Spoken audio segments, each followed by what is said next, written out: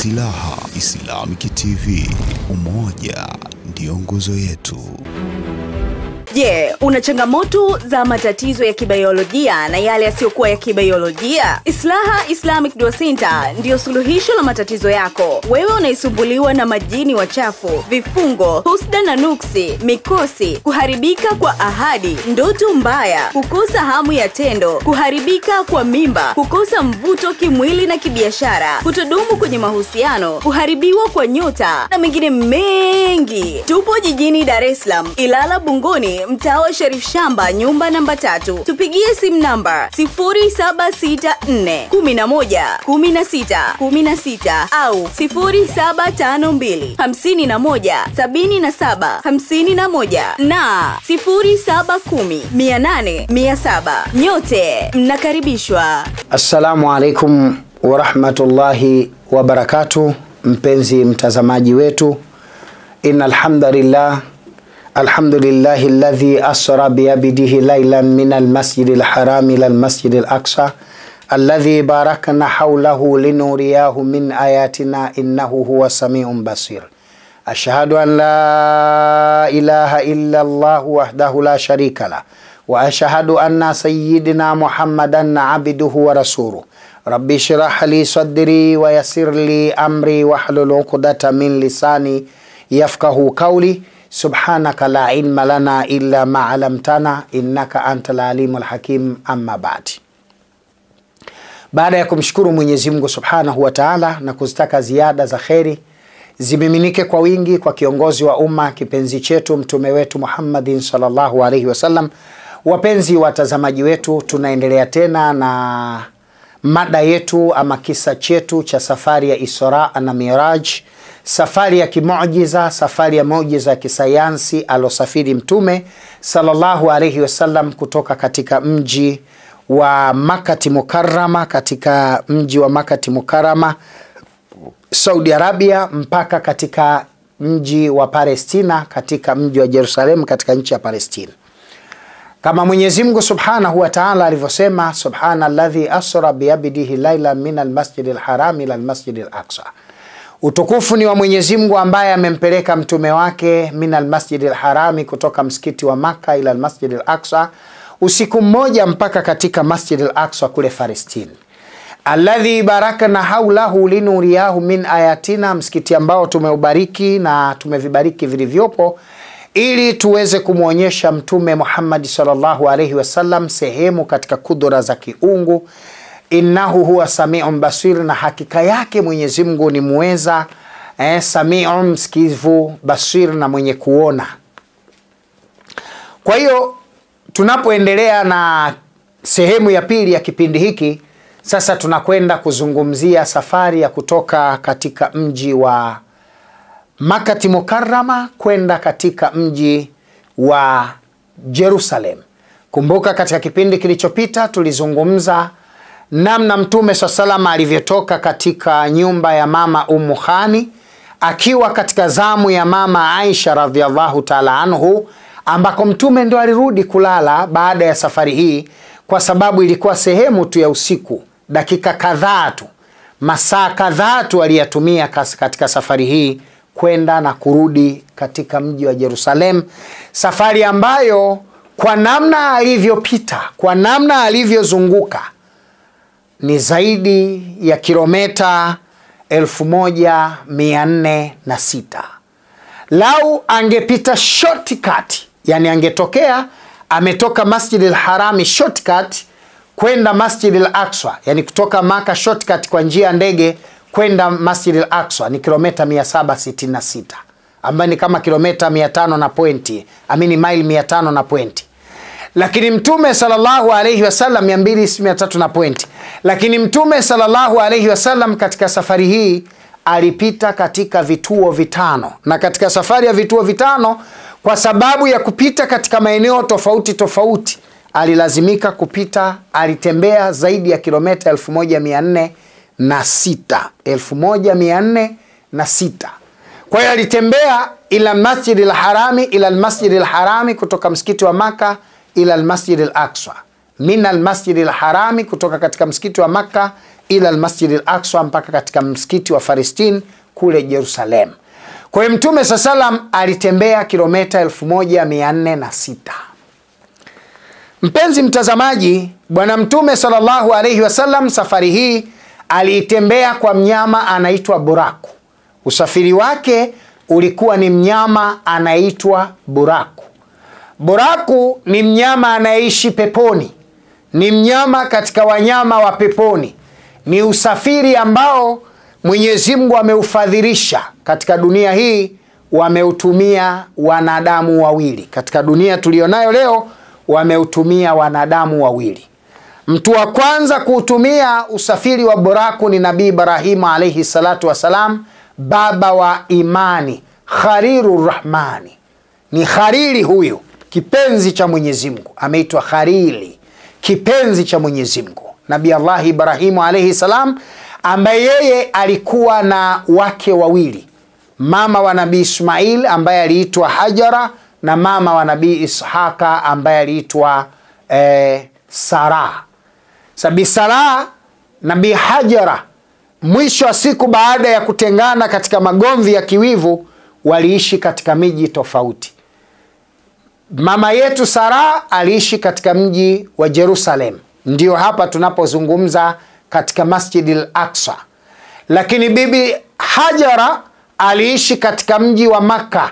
Ndipo hapa tunapozungumza katika masjidi lharami ambayo historia ya misikiti hii miwili kwa wakati tulionao sasa inabebwa na nabi allahi ibrahimu alaihi salatu wassalam ambaye yeye pia aliwahi kuwa imamu wa haramu mbili hizo imamu lharamain imamu wa hizo haram mbili masjid al aqsa na masjid al uh, masjid al aqsa na masjid al eh,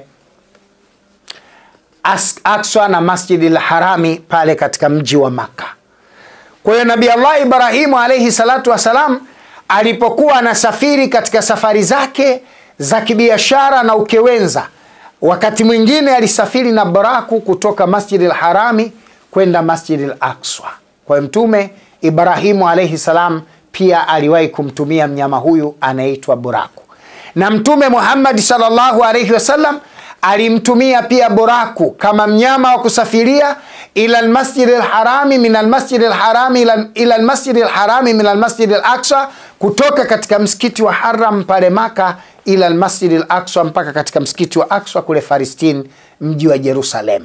Sa tumesema kutoka jerusalem mpaka maka ama kutoka maka mpaka jerusalem ni kilometa 766 ikiwa utatumia usafiri wa ndege direct ambayo ni kama kilometa maili 525 hivi kutoka katika maili 535 hivi kutoka katika mji wa maka mpaka katika mji wa jerusalem.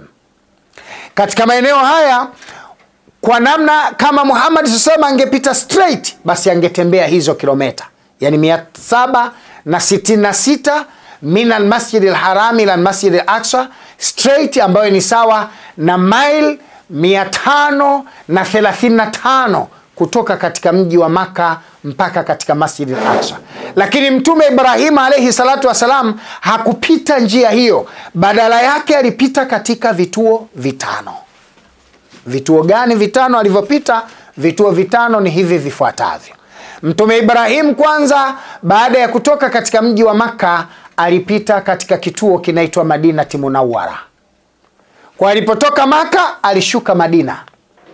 Akasali rakaa mbili hapo kisha akapanda tena Boraku akaondoka mpaka mahala panaitwa shajarati mum ama shajarati nur katika nchi ya rebanon mahala alipokuwa akiishi nabi allahi shaib katika jangwa la linalopakana baina ya rebanoni na misri na arabu bara la arabu. Hapo pia nabii eh, muhammadi saa salam aliteremka mahala panapoitwa ashajarati nur mahala katika mti wa nur ule mti ambao nabii allahi musa alaihi salam aliitwa akiwa anasikia sauti kutoka katika kijiti cha moto ambacho kilikuwa hakiteketei katika mti mbichi. Ni katika bara la eh, katika jangwa la nchi ya rebanon jangwani. Ni zaidi ya kilometa 35 50 kutoka katika mji wa lebanon katika mji wa beruti kuna siri kubwa sana hapo. Nabi allahi ibrahim amini nabi allahi muhammad saa salam alisimama hapo mahala aliposemeshwa nabii e, nabi allahi musa alaihi salatu wassalam. Wakati anatoka misri ambako alikuwa ukweni alipokaa miaka kumi baada ya kukimbia vita na mipango ya kuuawa iliyofanywa na, na, iliyofanywa na firauni lanatullahi alaihi na, ina na nabii musa baada ya kumuua misri kwa ngumi alipokimbia aliishi lebanoni kwa miaka kumi nyumbani kwa nabii allahi shuaibu. Na akaoa hapo mke. Kisha akasafiri kutoka hapo akarudi tena katika nchi ya misri. Sasa wakati anarudi yuko njiani. Hapa ndipo ambako alisemeshwa kwenye kijiti cha moto kisichoteketea. Hapo ni kituo cha pili ambako nabii allahi e, mtume muhammadi saa salam alisimama mahala ambako nabii allahi musa alahi salam alisemeshwa katika kijiti cha moto.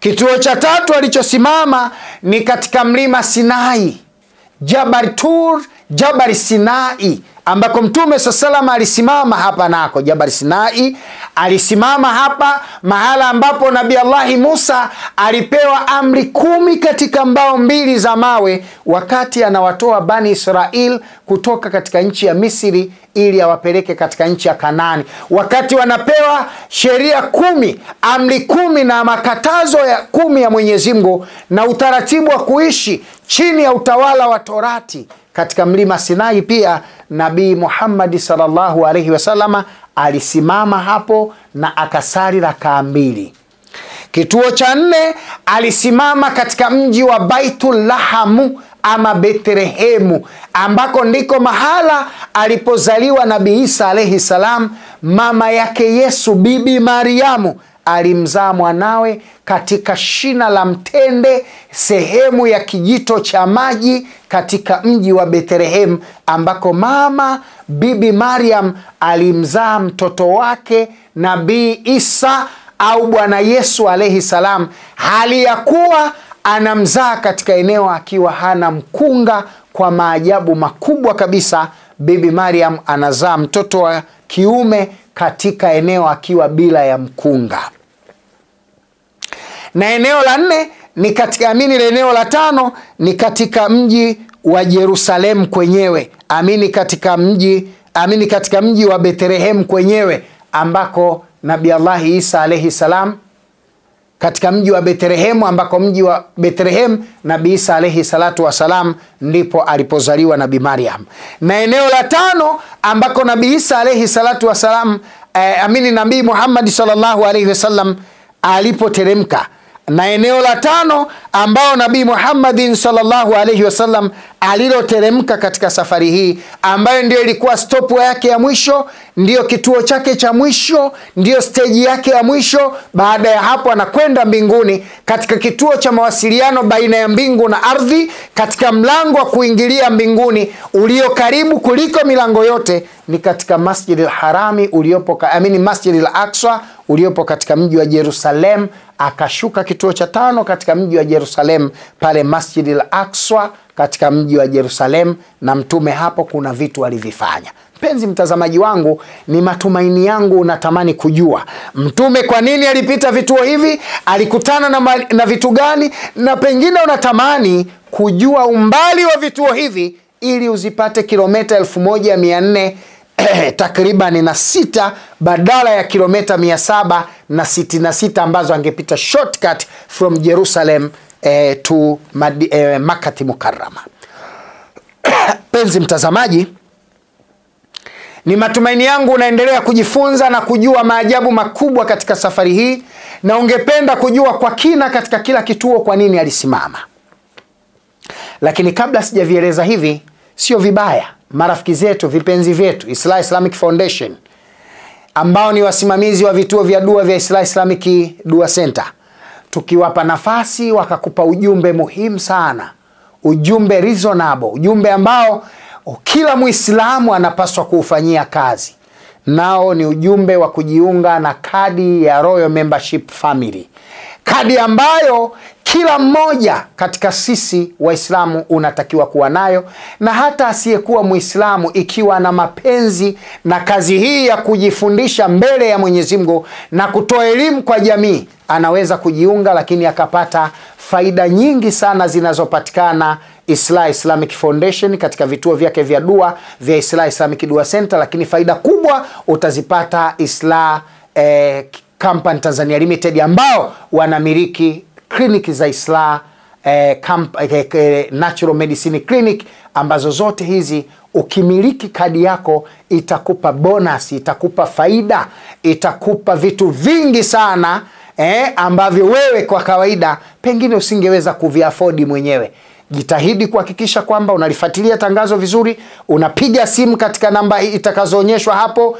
na wewe unashiriki kupata kadi hii mwaka huu 2024. kwako uwe mwaka wa mafanikio na mabadiliko katika maisha yako mpenzi mtazamaji bwana mtume muhammadin sallallahu alaihi wasallam akapita katika vituo vitano kituo cha kwanza mtume saa salam alishuka maduna, madinati munawara bwana mtume salllahu alaihi wasallam alishuka kituo kinaitwa madinati munawara kituo cha madinati munawara ikiwa utatembea kwa njia ya ndege ikiwa utatembea kwa njia ya basi au ya gari from madina to mukarama kituo cha kwanza ambacho mtume aliteremka kina umbali wa kilometa 447 kwa hiyo kutoka mji wa maka mpaka mji wa madina ni sawa na kilometa 447 ambazo ni sawa na maili 278 kwa hiyo mtume aliondoka maka kwenda madina kilometa 447 ambazo ni sawa na e, maili 247 kwa mnyama anaitwa buraku sa mnyama buraku huyu ambaye tumemsema nabi Allah ibrahima alaihi salatu wassalam mnyama huyu alimpanda. Alipokuwa amemaliza swala ya rakaa mbili mtume katika ule uh, katika ile alkaba alipomaliza rakaa mbili na kutufu la alkaba ndipo jibrili alaihi salam na kikundi cha malaika walipomaliza kumfanyia operation wakashuka na mnyama anaitwa buraku yani malaikatu rahmani wa peponi wanaosimamia kuishi kwa mnyama huyu wakamteremsha mpaka mahali alipokuwa mtume saa salam na jibrili alaihi salam na mikaili alaihi salam israfili alaihi salam na malaika amini na malaika wengine katika kikundi cha malaikatu rahmani wengi kabisa wakawa wameshirikiana naye na wameshuka pale na akateremshwa buraku mnyama buraku ambako mtume salllahu alaihi wasallam kwa mara ya kwanza kabisa anamuona buraku karibu yake. Sa mnyama buraku ni mnyama mwenye maajabu. Wataalamu wanasema mnyama huyu yuko chini ya punda na yuko juu kidogo ya chini ya farasi na juu ya punda. Yaani ni mdogo kuliko farasi ni mkubwa kuliko punda. Yuko katikati ya punda na farasi. Kwa hoja hii mnyama huyu uzito wake havuki kilo mia nne. Kwa hoja hii mnyama huyu ukubwa wake uzito wake havuki kilo mia nne. Yaani ni mnyama mwenye wastani wa uzito wa kilo mia nne. Yaani kwa wacheza mieleka kama uzito wa john cena hivi. Yaani hana uzito zaidi ya kilometa yamini uzito wa kilograms mia nne. Na mtume salallahu alaihi wasalama alipoletwa huyu buraku akaambiwa ampande. Na buraku alipoambiwa alale ili kupandwa na mtume saa salam buraku akajivuna buraku akatakabal akaonyesha thamani kwamba hawezi kupandwa na kiumbe mwingine hali ya kuwa yeye amepandwa na hariru rahmani amepandwa na kipenzi cha mwenyezi mungu nabi allahi e, ibrahima alaihi salatu wassalam baba wa imani. Jibrili alipomwona borak anahofia kupandwa na mtu dhaifu pengine kuliko nabii ibrahim jibrili alaihi salam akatamka kumwambia barak huyu ni muhammadin salllahu alaihi wasallam yeye ni imamu lambiyai walmursalina yeye ndiye bwana na kiongozi wa mitume na manabii wote duniani. Hata huyo nabii ibrahim kwa cheo na darja mtume salllahu alaihi wasallam yuko mbele yake. Kwa unyenyekevu mkubwa kwa heshima kubwa kwa hofu kubwa na kunyenyekea baraku akashusha miguu yake akateremka katika ardhi. Nabii ibrahim nabii muhammad saa salam akapanda juu ya baraku kisha akainuka kushotoni akakaa mikail ma, malaika wa allah. Kuliani akakaa jibril malaika wa allah. Na kundi kubwa la wafuasi wa malaika hawa wakawa wanaruka pamoja kuelekea katika mji wa madinati munawara kituo cha kwanza chenye umbali wa kilometa 447 wakiwa wanakwenda kutua kituo cha kwanza. Wakaruka hivyo wakashuka waliposhuka jibrili alaihi salatu wassalam akamuuliza mtume muhammadi unapajua hapa? Akaambia sipajui. Akaambia hapa ni madinati munawara simama usali rakaa mbili. Mtume akashuka juu ya jibril akasali rakaa mbili. Alipomaliza kusali rakaa mbili mtume saa salam alipomaliza tu kuisha kupanda katika buraku jibrili alaihi salamu akamwambia hapa uliposhuka leo ndipo utakapokuja kuishi muda mfupi ujao. Na insha allah maisha yako na uhai wako utaishia hapa utafia hapa na utazikiwa hapa mtume Muhammad salam mwaka wa 621 tarehe 26 mwezi juni miaka mitatu miaka miwili kabla hajahama kutoka maka kwenda madina mtume salam anafundishwa mahala atakapofia na mahala atakapozikiwa mimi na wewe hatujui tutafia wapi wala hatujui tutazikia wapi. Allah atujalie mwisho mema na tufie eneo jema na tufe kifo chema kwa sababu mungu ametutihani kwa sheitani ibilisi kila siku ya mungu tumekuwa wenye kukosea na kumwasi allah subhanahu wataala allah atusamehe makosa yetu atulinde juu ya maovu na makosa yajayo na atufanye miongoni mwa wenye kusamehewa madhambi yao na kufutiwa makosa yao. Amin amin amin.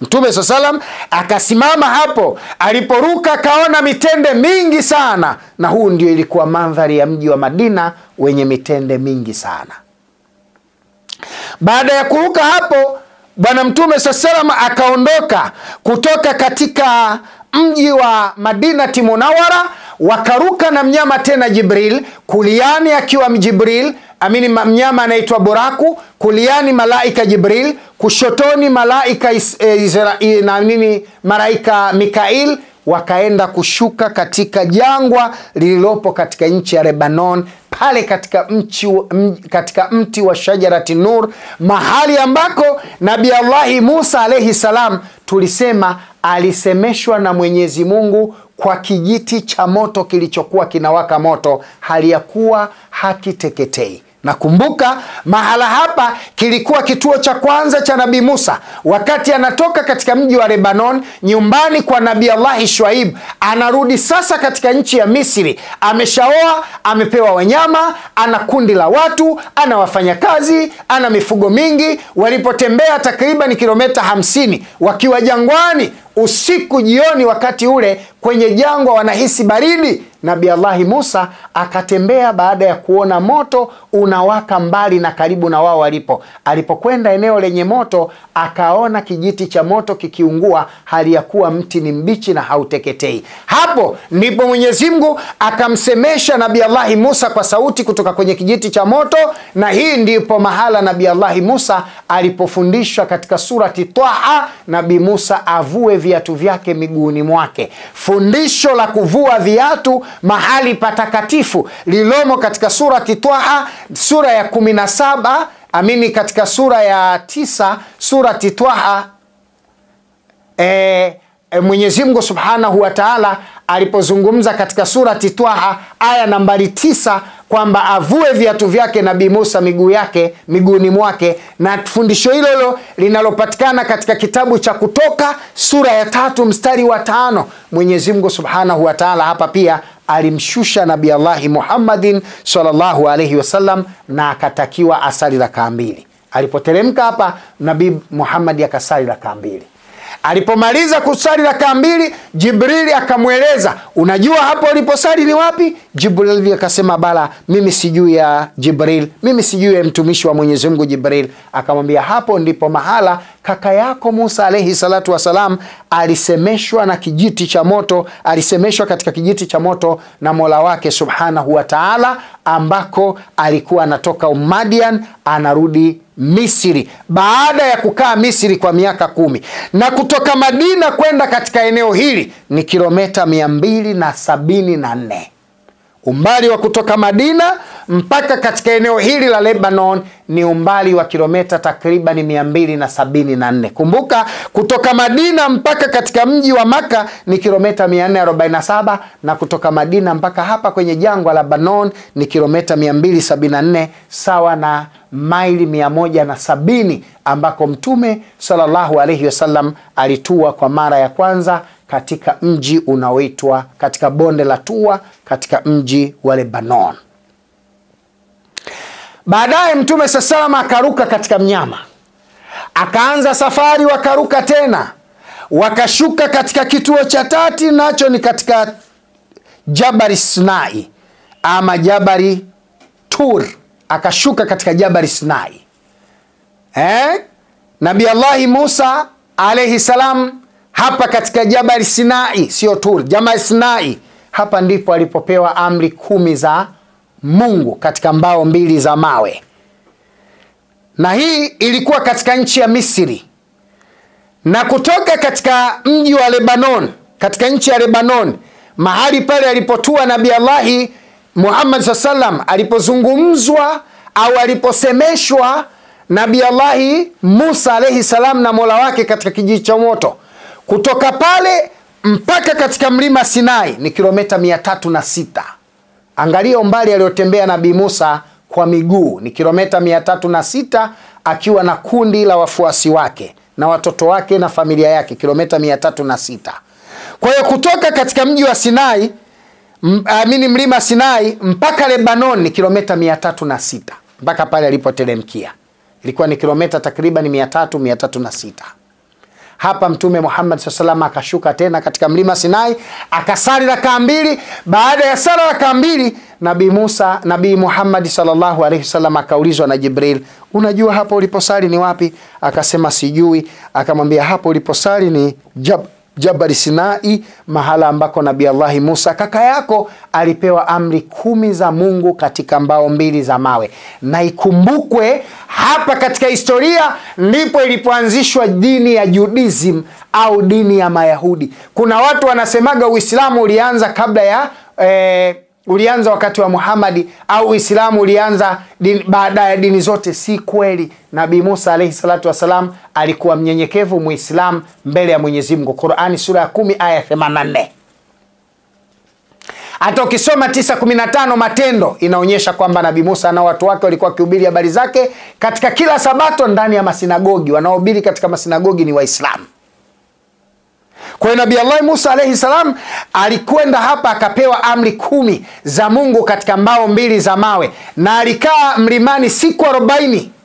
Alipoteremka alimkuta harun na anapambana na mtu anaitwa musa samilii musa samilii musa samilii ni kizazi kutoka katika familia ya wana wa israeli ambaye yeye aliamua kutengeneza ndama wa shaba akawa amemtia vitu mdomoni akimwelekeza upande wa upepo analia kwa sauti po jambo hilo likapelekea kufanya wana wa israeli kundi lao wakamwamini na kuamini huyo ni mungu kwa sababu musa alikaa juu ya mlima kwa siku 40 wakawa wanaamini hawezi kupona mtu hawezi kuishi siku 40 kwa chakula kidogo alichotengana alichokwenda nacho. Kwa sababu hiyo nabii allahi ibrahim nabii allahi musa alaihi salam aliporudi akamkuta musa samilia ameshaanzisha dini nyingine iliyokuwa ikiitwa dini ya wasamalia ya watu wa samalii ambao hawa baadaye ndio wakajulikana kama dini ya judism hawa watu wa samalia au watu wa samalii watu wa samilii walipokuja katika mji wa Yerusalemu,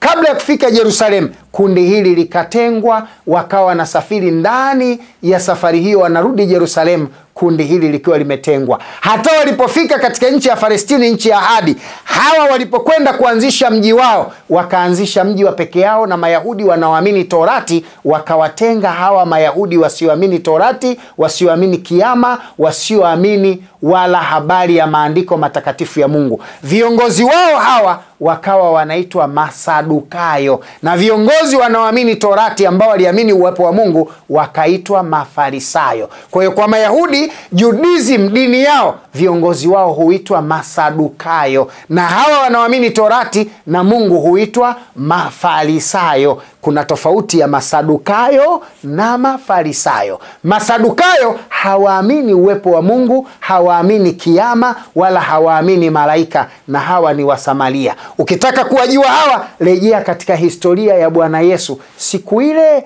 mwanamke mmoja anayetoka mipaka ya Kanaani alipomwendea katika ile e, kumi na tano Matayo e, alipomwendea saba kumi na tano Matayo, mwanamke mmoja Mkananayo, mtu wa Kanaani wa mipaka ile ya Samaria na Kanaani, alipomwendea Bwana Yesu akamwambia, mwanangu amepagawa na pepo, unirehemu Bwana, maana mwanangu amepagawa na pepo. Yesu akamwambia, si vema kuchukua chakula cha watoto na kuwatupia mbwa. Yesu akasema, sikutumwa ila kwa kondoo aliyopotea wa nyumba ya Israeli. Yule mwanamke akamwambia, hata hao mbwa hula makombo yatokayo katika meza za bwana wao, naomba unirehemu, maana mwanangu amepagawa tena na pepo. Wanafunzi wakamwendea Bwana Yesu akamwambia, mwache huyo, maana yuko anapiga kelele nyuma yetu. Yesu alipomwona na imani yule mama akamwambia, na iwe kwako kama utakavyo, maana imani yako ni kubwa. Hiyo ya kwanza. Lakini pia ukisoma katika Yohana, Bwana Yesu alipokutana na mwanamke Mkananayo kisimani,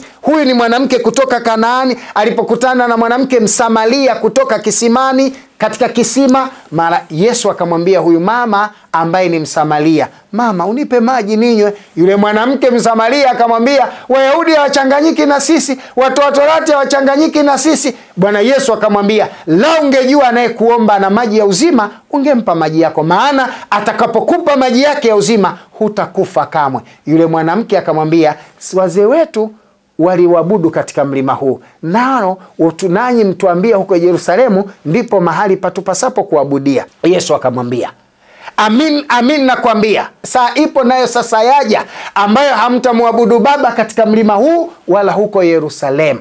Bwana Yesu alikwenda kumnyima mwanamke ma, ma, alinyimwa na mwanamke maji kwa sababu tu alikuwa yeye ni Msamaria. Kwa hiyo Wasamalii, watu wa Musa Samilii, watu waliokuwa wakifuata dini ya Kijudism, hawa walikuwa hawaaminiwi hawaamini uwepo wa Mwenyezi Mungu, na imani yao ilikuwa inaongozwa na watu wanaitwa Masadukayo. Hawa ndiyo dini ya Kijudism. Hii ndiyo dini ya Mayahudi wa leo, Mayahudi ambao leo wanaamini hawaamini Bibilia kwanza, yani hiyo Bibilia unayoiamini wewe, wao hawaiamini. Hawaiamini Qurani, yani hiyo Qurani wanayoamini Waislamu hawaiamini. Wana vitabu vyao vya Kiyahudi na wanaamini Yesu mtoto wa zinaa. Hilo kundi wanaamini Yesu mtoto wa zinaa, na ndiyo maana mwaka jana 2022 bunge la Israeli lilitunga sheria, mtu yoyote katika himaya ya Israeli akitamka neno Yesu anakwenda jela miaka mitatu kwa sababu amekosea nchi ya Israeli. Wao wanaamini Yesu ni mtoto wa zinaa. Bunge la Israeli limetunga sheria hiyo. Kwa hiyo Mkristo unaowashabikia Wayahudi ukidhani ni wenzako, Miyahudi hii ni mikafiri iliyopitiliza, unatakiwa ujue hilo. Hawaamini hata huo uwepo wa Yesu, wala Yesu wenyewe anaamini kwanza mtoto wa zinaa alikuwa muhuni wa mtaani. Hiyo ndo akili ya Masadukayo, ndio akili ya Mayahudi waliopo leo, ndio akili ya kina Benjamini Netanyahu. Unatakiwa ujue hilo, mpenzi mtazamaji wangu. Baada ya maelezo haya, nirudi sasa kueleza kwamba Nabii Musa alaihi salatu wassalam alipewa amri kumi katika mlima Sinai, na Nabii Muhammad salam aliteremka hapa akasali rakaa mbili.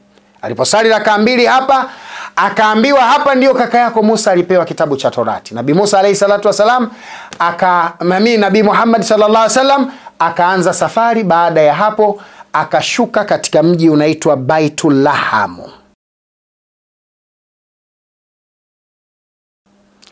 Bethlehem au Beit, Baitulaham au Bethlehem, huu ni mji uliopo katika nchi ya Israeli. ni mji ambao uko kilomita chache sana katika mji wa Yerusalemu. Kutoka ukingo wa mji wa Yerusalemu kuelekea katika mji wa Bethlehem ni umbali wa kilomita 8.5 ambaye ni sawa na maili tano hivi. Kwa hiyo Bwana Yesu kutoka pale Masjid al-Aqsa ambako mama yake alikuwa anaishi, taenda kueleza mbele, mpaka pale alipokwenda kumzalia ulikuwa ni umbali wa kilomita nane kilomita 8.5 ambazo ni sawa na kama maili tano.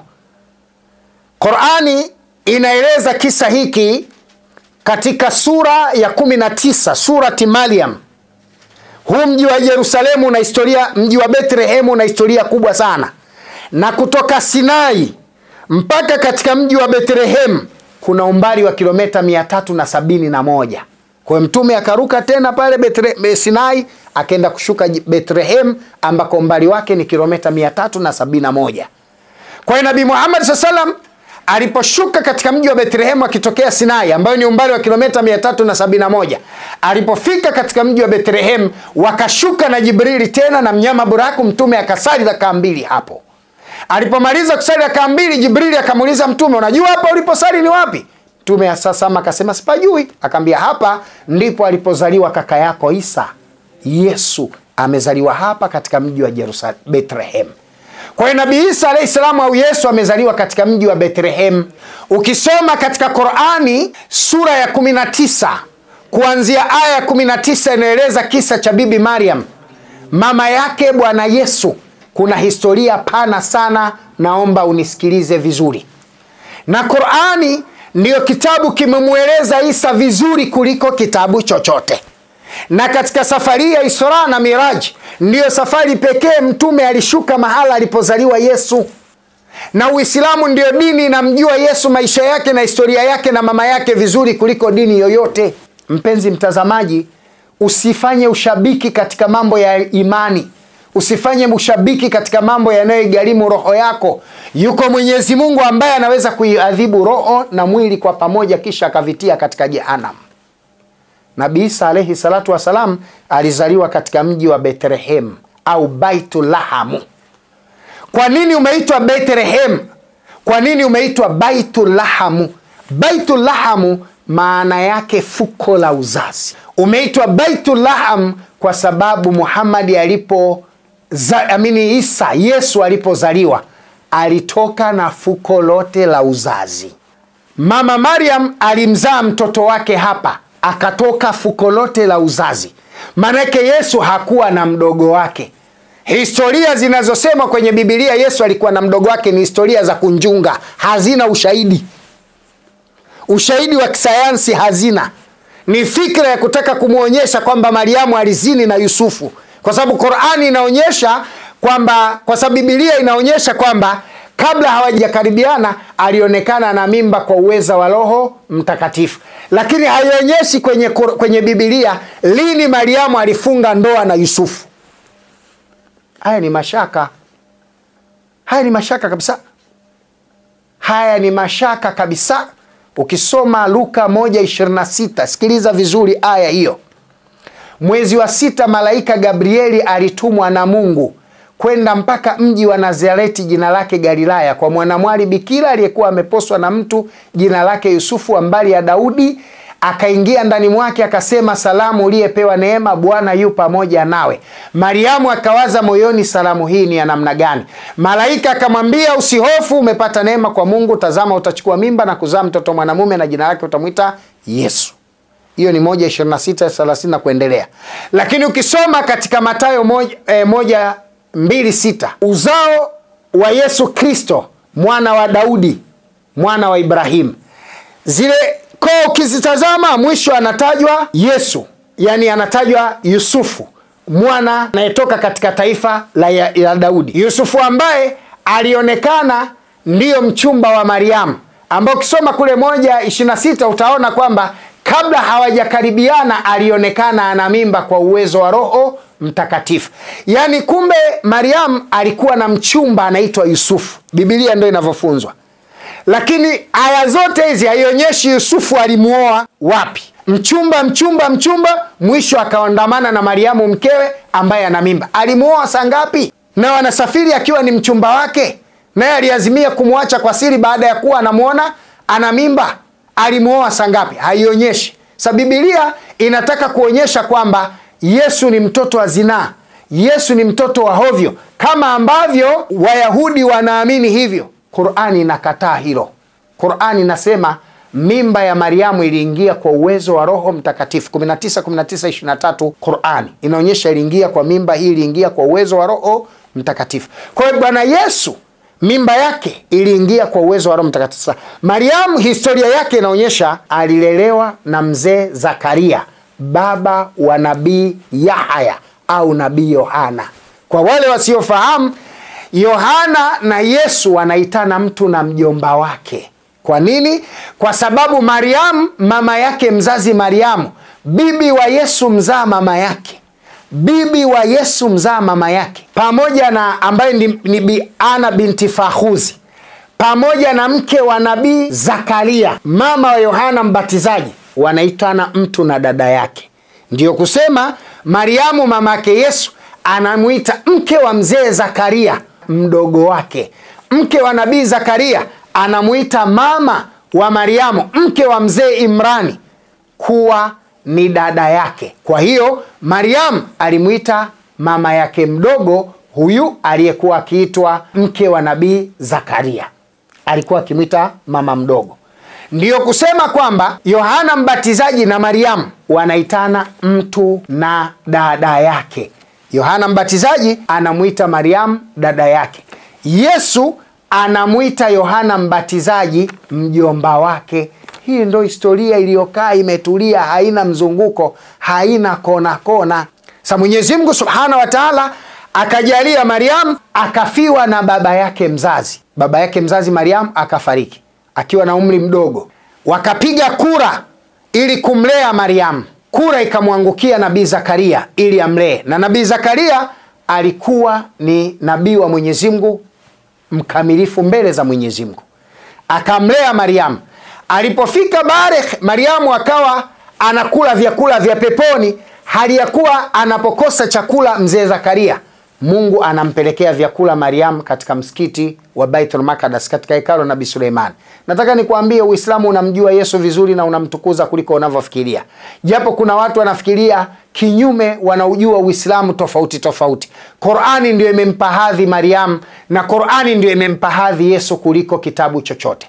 Qurani ndio kitabu pekee kinafundisha vitu kadhaa kwa mariam cha kwanza qurani inafundisha mariamu mamake yesu alikula vyakula vya peponi kabla yesu hajazaliwa. Cha pili qurani inafundisha mamake yesu alipata mimba kwa uwezo wa roho mtakatifu na wala sio kwa zinaa.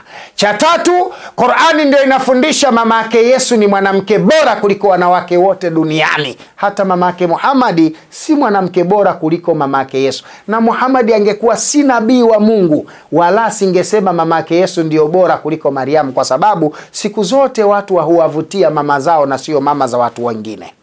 Hii qurani ni wahai. Allah anasema surati najmi sura ya 53 aya ya tatu wama yamtiku anil hawa in huwa illa wahayuha. Na hasemi Muhammadi kwa matamanio yake isipokuwa kila anachofundisha ni wahai kutoka kwa mola wake mpenzi mtazamaji nachotaka nikuambie bibi mariam akawa anakula vyakula vya peponi. Allah subhanahu wa taala alipofika barekhe akamtuma jibril ili kumpasha habari ya kupata mimba. Akapata mimba ndio ile inayosomwa katika sura ya 19 kuanzia aya 19 aya 20 pale 21 aliposema mimi ni mjumbe wa mola wako nimekuja hili nikupe habari njema ya kupata mtoto. Mariamu akapata mashaka akasema sijakutana na mwanamume kwa njia halali wala ya haramu mwenyezi mungu akasema kupitia malaika kadhalika vivyo usemavyo mwenyezi mungu mola wako ameshahukumia na kwamba utapata mimba kwa nguvu za uwezo wa roho mtakatifu bi mariam akapata mimba. Jambo hili likampa wakati mgumu sana bibi mariam kupata mimba hali ya kuwa hajakutana na mwanamume kwa njia yoyote bi Mariamu alipata shida sana kupata mimba hii bila ya, am, bila ya kupata mwanamume wa kukutana naye. Dunia na wayahudi wakamuona mariamu ni mzinifu wakamuona mariamu si mwanamke sawasawa na hapa ndipo palipokuja kuleta kizaazaa ambacho leo duniani kipo. Dini zote unazoziona duniani zipo leo zilianza kwenye kizazi na maanisha ukristo uislamu na uyahudi. Nisikilize vizuri. Hapa ndipo walipogawana dunia kuwa na dini tatu na wewe unatakiwa ujiulize imani sahihi unayoiabudu ndio ile anayoitaka bwana yesu? Ndio ile anayoifundisha mwenyezi mungu? Jiulize katika imani hizi tatu ya kwako iko wapi. Mariamu akapata mimba kwa nguvu ya uwezo wa roho mtakatifu. Mimba ikakua. Watu wakaanza kumsema mariamu. Mariamu mzinifu mariamu kapata mimba anavaa majilibabi yuko msikitini ana mimba mimba ikazini. Maneno yakamshika mariamu akaumia akafikia mahala akaona kukaa mji ule ni tabu. Alipokuwa maneno yamemzidi ikawa ndo mwisho wakati wa mwisho mwisho mimba yake sasa anataka kuzaa. Akaona atoroke kutoka pale atafute mji mwingine kwenda kuishi. Atafute mahala pa kwenda kutembea atafute mahala pa kwenda kukaa ili kujiepusha na aibu ya walimwengu waliokuwa wakimwona mariam kuwa mzinifu. Bibi mariam akaondoka jerusalem anakwenda beitulaham kilometa nane tu kutoka mpakani mwa mji wa jerusalem kwenda beitulaham kilomita nane tu. Wakati anatoka bi mariam kuelekea katika mji wa betlehemu akiwa njiani yuko betlehemu mariamu akapata uchungu wa mimba mimba ikapa, akapata uchungu mariamu yuko peke yake hakuna mkunga hakuna daktari. Hajawahi kuzaa hajawahi kuingiliwa hajui hata historia ya mimba inavyofanywa hajui chochote. Alipopata mimba qurani inasema mungu akamtia njaa mariamu. Akapata njaa. Wakati anapata njaa akatamani kula. Pale akipata maumivu ya mimba ikipungua maumivu ya uchungu anapata njaa kali anatamani kula mwenyezi mungu akalifanya shina la mtende lililokuwa karibu yake likawa na tende mbivu. Mariamu akawa anatamani kula zile tende mbivu. Mariamu akasimama ili aangushe zile tende akasimama ili alitikise shina la mtende. Wakati anataka kusimama mariamu kutikisa shina la mtende hawezi kusimama kama mwanajeshi yuko kwenye paredi. Lazima atafute balance ya kusimama ili kutingisha shina la mtende mariamu akaweka mguu kulia mguu kushoto au mguu mbele mguu nyuma kutanua miguu ili kulishika shina aweze kutikisa ile eh, eh, ili atikise shina la mtende limwangushie tende mbivu. Wakati mariamu anafanya tukio hilo yeye kwa sababu yuko kwenye uchungu na mtoto amesha process kuzaa amesha engage katika njia ya uzazi kwenye cervix kitendo cha kutikisa shina la mtende akawa ni msaada kwake katika njia ya kuzaa kwa sababu hana mtu atakayemwelekeza. Nini kilichotokea? Wakati anatanua miguu ni hatua ya kwanza ya kuzaa kupanua miguu wakati wa kuzaa. Wakati anasukuma na kulitikisa shina la mtende ni hatua ya pili katika kujikamua ili kusukuma mtoto azaliwe. Mama, bwana, mama mariam akawa anafanya prosesi za kuzaa na mtoto ameengeji katika cervix bila yeye mwenyewe kujua hatimaye akajizalia mtoto wake kifungua mimba ambaye mtoto huyu ndio alishuka na ule mfuko wake wote wa uzazi na ndio maana pakaitwa baitulahamu au Betlehemu, mwanamke aliyezaa kwa mfuko wote wa uzazi au mwanamke au mtoto aliyezaliwa na fuko lake la uzazi alipomzaa bwana yesu kijito cha maji kikawa pale. Akafundishwa kumsafisha mtoto wake. Hali ya kuwa kitovu kishakatwa na mwenyezi mungu subhanahu wa taala amemlinda nabii isa na kila aina ya aibu kwa uwezo wake subhanahu wa taala. Nabii isa akawa amezaliwa pale tende zile zikaanguka mama akapata njaa akala tende. Kwa nini amelishwa tende bimariam kwa sababu kwa kawaida mwanamke anapokuwa na njaa au mwanadamu anapokuwa na njaa. Ili mtu anapokuwa na njaa kitu cha kwanza sukari inaondoka ina destroy katika mwili. Alipopewa tende maana yake ameongezewa kiwango cha sukari katika mwili kwa haraka na kurudisha nguvu katika mwili wake. Kwa hiyo bimariam akala tende ili kurudisha kiwango kikubwa cha sukari na kutengeneza nguvu baada ya kuwa na njaa kutokana na kujifungua kwa kukaa na njaa kwa muda mrefu. Bimariam akawa tayari amejifungua mtoto wake kifungua mimba huyu ndio anaitwa bwana yesu ambaye amezaliwa kwa utaratibu tuliousema. Kazaliwa katika mji wa bethlehem au baitulahamu mahala ambako yesu alizaliwa na mfuko wake wote wa uzazi. Ni kilomita nane kutoka ukingo wa mji wa Yerusalemu kwenda katika mji wa bethlehem kilomita nane ni sawa kilomita nane kama nukta tano ambazo ni sawa na maili tano ambako bibi mariam alizaa pale akajifungua mtoto wake pale. Baada ya pale mtume saa salam alipomaliza kusali rakaa mbili katika eneo hili akaambiwa na jibrili waruke wakaruka mpaka katika masjidi l aksa walipofika katika masjidi l aksa hapa sasa wakakutana na maajabu na ndipo mahala kwenye safari ya mwisho. Allah subhanahu wa taala anasema Eh, alladhi barakna msikiti ambao tumeibariki, linuriyahu min ayatina tumempeleka safari hii kumwonyesha kudura zetu za kiungu innahu huwa samiun basir hakika yake mwenyezi mungu ni mwenye kusikia na mwenye kuona.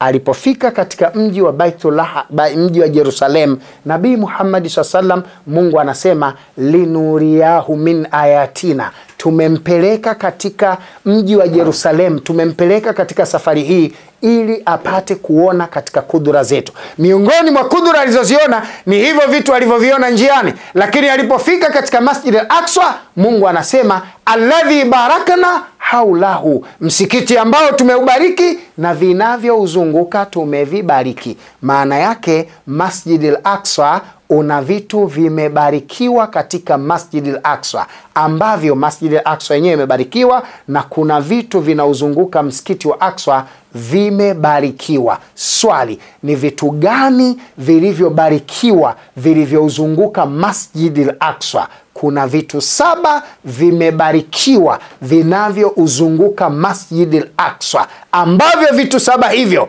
ukivifahamu ndio utajua thamani ya masjid al aqsa. Na ndiyo maana rakaa mbili za masjid al aqsa zina thamani ya rakaa mia tano za masjid, msikiti wowote ukitoa masjidi Harami maka na masjidi nabawi madinati munawara duniani kuna misikiti mitatu mikubwa ambao rakaa zako mbili ni sawa na rakaa mia tano za misikiti mingine. Masjidi l aksa ukiwemo na una mambo saba ambayo yanauzunguka masjidi l aksa nitataja mawili tu katika saba matano nayaweka kiporo ili upate kuifuatilia mada hii na kujua vikubwa. Cha kwanza kilichopo katika masjidi al mungu alichokibariki ni lile jiwe lililokuwa linamfuata mtume wakati anapanda katika miraji. Wakati anaanza kupanda ngazi jibrili na mtume na kundi la malaika wakati wanaondoka kuna jiwe nalo likainuka kumfuata mtume. Lilipokuwa linasogea jibrili akaliona akalispush kwa mguu wake kulishusha ili lisimfuate mtume lakini wakati wa kurudi halikurudi katika ardhi. Likaacha gepu baina yake na ardhi likawa linaning'inia. Tangu wakati huo muhamadi anasafiri lile jiwe linaning'inia pale. Juu halipo chini halipo na hakuna lilipokanyaga. Hii ni katika mawe ya peponi ni katika mawe matukufu ni katika mawe yenye maajabu makubwa. Ma- jiwe hili liko masjid al aqsa lina maajabu makubwa sana. Ndio mwenyezi mungu anasema alladhi barakana linuriyahu min ayatina. Haulahu linuriyahu min ayatina. Alladhi barakna haulahu linuriyahu min ayatina. Msikiti tumeubariki na vinavyozunguka tumevibariki la pili vilivyobarikiwa katika masjid al aqsa vinavyouzunguka katika masjid al aqsa kuna ngazi inaitwa miraji njia ya kuendea peponi njia ya kuendea mbinguni. Na katika njia au barabara 36 za kutoka duniani kwenda mbinguni milango 36 njia fupi kuliko yoyote ya kwenda mbinguni iliyopo masjid al aqsa iliyopo jerusalem katika msikiti aqsa ambako mtume alipanda. Hivyo ni vitu viwili miongoni mwa saba. Katika vipindi vijavyo nitafundisha hili hizi njia hivi vitu vitano vingine ambavyo allah amevibariki masjid al aqsa ni vitu gani ili upate kuvijua. Mpenzi mtazamaji usiache kusa, eh, kusikiliza tangazo lifuatalo. Wadhamini wetu na wakaribisha hapa wazungumze nasi. Umuhimu wa kuwa na royal membership family kadi royal kadi membership family wewe mtu wetu wewe kipenzi chetu wewe mwanafamilia wetu hakikisha mwaka 224 unaipata kadi hii ili kuwa mmoja wa marafiki wa mwenyezi mungu kuwa mmoja wa marafiki wa Mtume, kuwa mmoja wa marafiki wa Dr. Sule, kuwa mmoja wa marafiki wa Islam Islamic Foundation, kuwa mmoja wa marafiki wa watu wanaofanya kazi ya dini biidhnillahi. Na ukifanikiwa kupata kadi hii umewekeza katika ule uwekezo wa sadakatul jalia, sadaka yenye kuendelea. Membership card hii itafanyika kitu kidogo kwako, lakini itakupa thawabu katika maisha yako yote ya dunia na ikiwezekana akhera kwa zaidi ya miaka mia mbili mia tatu mbele. Jambo hili litakwenda kukupa faraja, mafanikio na kufaidika nalo biidhnillahi karim. E, baada ya kupata tangazo tutaendelea na sehemu ya tatu ya safari yetu tukianzia katika tukio la mtume alipofika katika Masjid al-Aqsa aliyoyafanya Masjid al-Aqsa na kuanza kwa safari ya kuelekea mbinguni, tukienda hatua ya tatu ya kipindi chetu hiki ya maudhui yetu hii muhimu kabisa ya safari ya kisayansi ya mtume Muhammadi ya kuelekea mbinguni. Wabillahi taufiki, wassalamu alaikum warahmatullahi wabarakatuhu. Allah hutengeneza njia pasipokuwa na njia unapokwama, unapohisi kushindwa au unapoelemewa. Maisha hayako vizuri upande wako, uchumi umekwama, afya inadhoofika, familia nayo ni hali ngumu. Islah Islamic Foundation 2024 sisi ni wewe. Loyalty Family Membership. Je, una kadi?